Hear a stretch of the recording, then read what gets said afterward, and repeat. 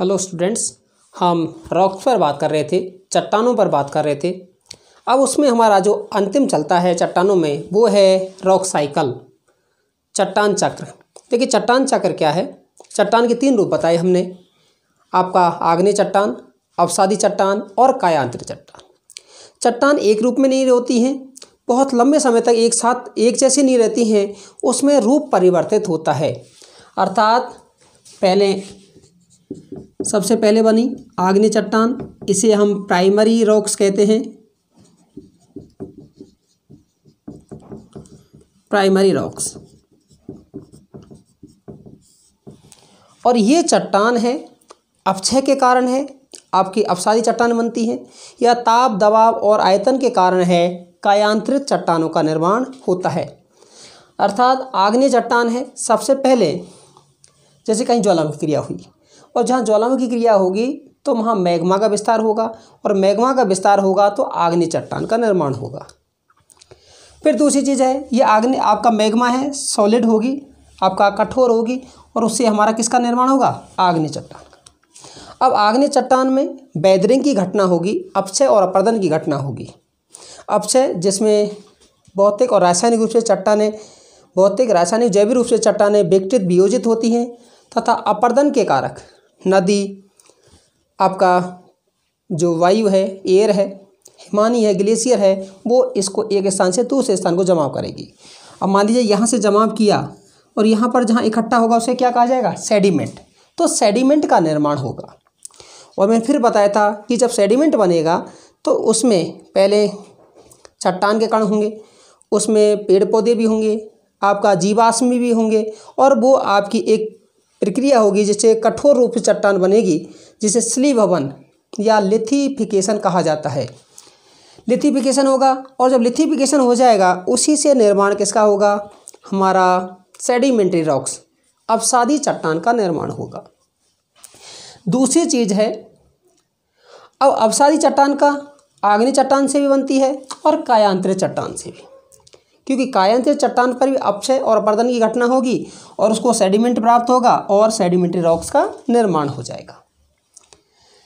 तीसरी चीज़ कि आपकी ये अवसादी चट्टान अवसादी चट्टान का है, जब ताप और दबाव के कारण रूप परिवर्तित होगा तो कायांतरित चट्टान में परिवर्तित होगी।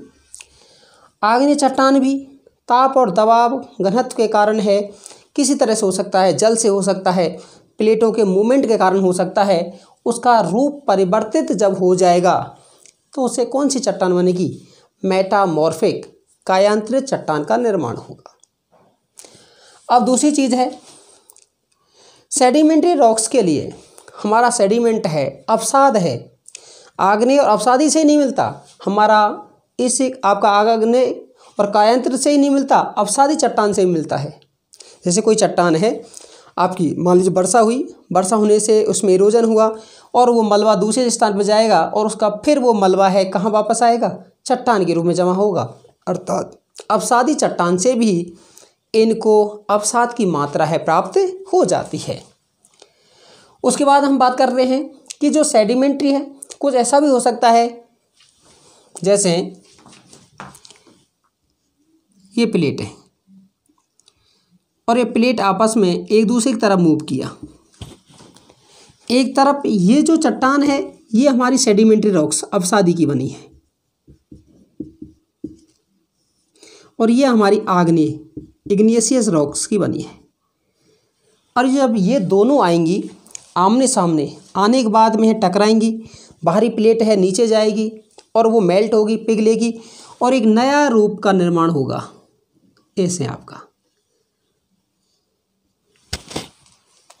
ठीक है? तो अवसादी चट्टान का है, सीधा मेल्ट, अर्थात पिघल सकती है और मैग्मा में परिवर्तित हो सकती है, जिसमें सभी रूप हैं, एक दूसरे से पाए जाते हैं।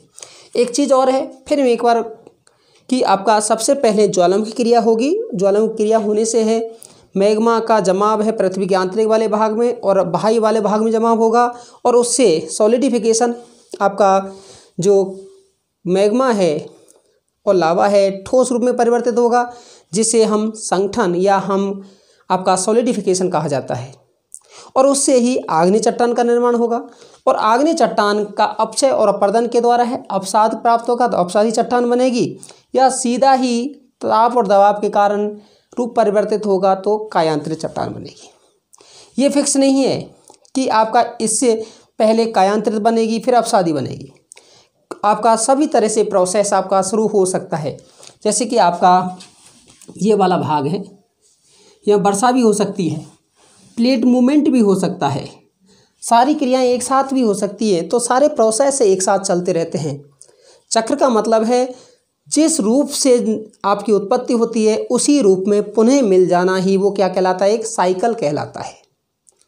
तो इसमें मैंने कहा फिर आपका आग्नेय चट्टान, आग्नेय से किसका निर्माण हुआ हमारा? अवसादी चट्टान और इसके साथ साथ ही हमारा कायांतरित चट्टान का निर्माण हुआ। अवसादी चट्टान से कायांतरित चट्टान भी का निर्माण हुआ और हमारी अवसादी चट्टान का भी निर्माण हुआ। और जब प्लेटों के साथ में होती है तो इससे मैग्मा का भी निर्माण हुआ। दूसरा है मेटामॉर्फिक।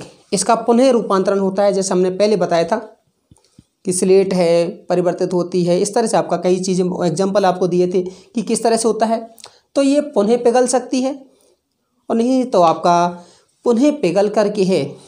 फिर प्लेटों के साथ साथ है, मिलने के बाद है, प्लेट मूवमेंट होगा और पुनः मैगबा के रूप में परिवर्तित होगी। इस सभी प्रक्रिया को हम क्या कहते हैं आपका?